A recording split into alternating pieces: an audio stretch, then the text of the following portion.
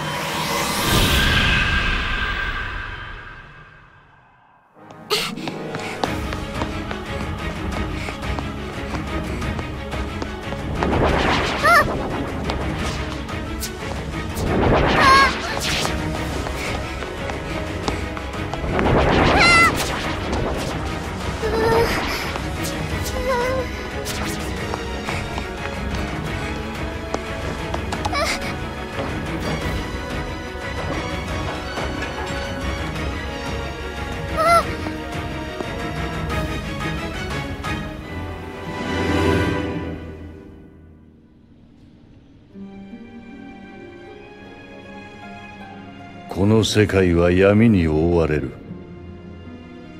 君の大切なものや愛するもの全てが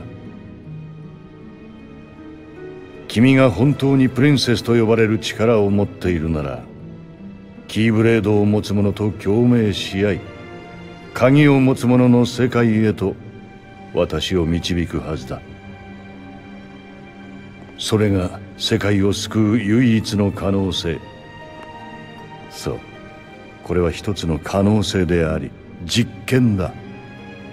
君はおそらく世界の全てがこの世界だけで完結するものだと思っていただろう。しかし世界は無数に存在する。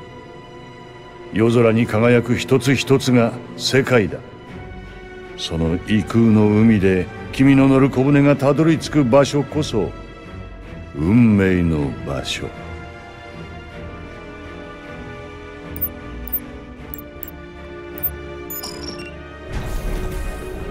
ただたどり着く世界がこちら側の光でも闇でもなく裏側の世界だった場合見つけ出すのは容易ではなくなる。